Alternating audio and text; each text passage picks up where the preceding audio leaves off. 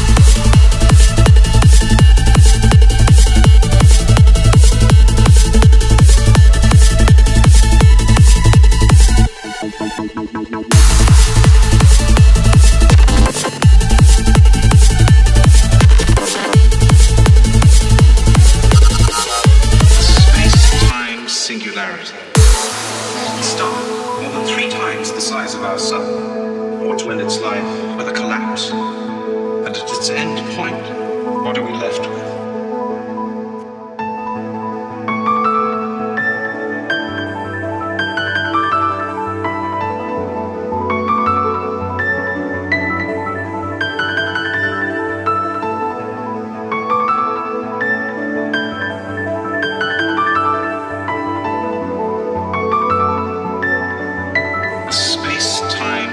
Singularity.